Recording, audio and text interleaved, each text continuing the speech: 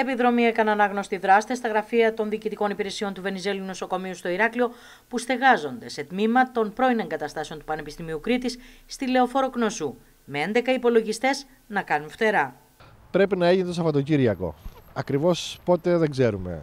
Ο χώρος είναι αφύλακτος, μπορεί να πει οποιοδήποτε από οπουδήποτε. Έχει 30 χώρους πρόσβασης.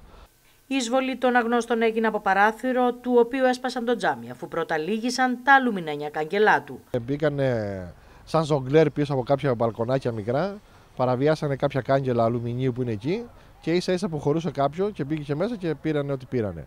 Πρέπει να είχαν πολύ χρόνο στη διάθεσή τους για να κάνουν και να μετακινήσουν όλους αυτούς τους ε, υπολογιστές.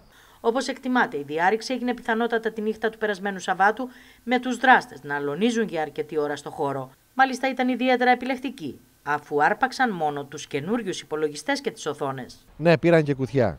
Και πήραν κουθιά τα οποία εντελώς τυχαία, μα εντελώς τυχαία όμως, ήταν που είχαν τα προγράμματα μέσα για το γραφείο προσωπικού. Πήραν γύρω στους 11 υπολογιστές, οθόνες και, και διαλέξανε ε, τα, καινούργια, τα καινούργια μοντέλα και τις καινούριες οθόνες. Τις παλιές δεν κύξαν καθόλου. Είναι ένα τεράστιο πρόβλημα γιατί το γραφείο προμηθειών έχει ένα αρχείο, είναι όλα μηχανογραφημένα και καταλαβαίνετε ότι μας πάει πίσω πολύ χρονικό διάστημα προπαντός με τις προμήθειες και προπαντός στο χρονικό διάστημα αυτό που το νοσοκομείο πρέπει να τρέξει κάποιους διαγωνισμούς, να φύγουν γρήγορα γιατί μέναμε και πολύ Όπως καταγγείλει το Σωματείο Εργαζομένων του Βενιζέλου Νοσοκομείου, δυστυχώς ο χώρος, ο οποίος ανήκει στο Πανεπιστήμιο Κρήτης, δεν φυλάσσεται παρκώς και μοιάζει περισσότερο με ξέφραγο αμπέλι. Υπάρχει ένα ιδιωτικό, ένα ιδιόμορφο καθεστώς με το Πανεπιστήμιο με την Βρυτανία.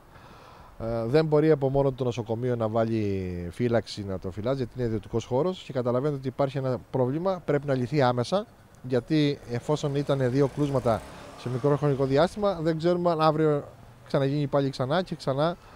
Και πρέπει οπωσδήποτε άμεσα, από χθες μάλλον, έπρεπε να έχει τακτοποιηθεί το ζήτημα.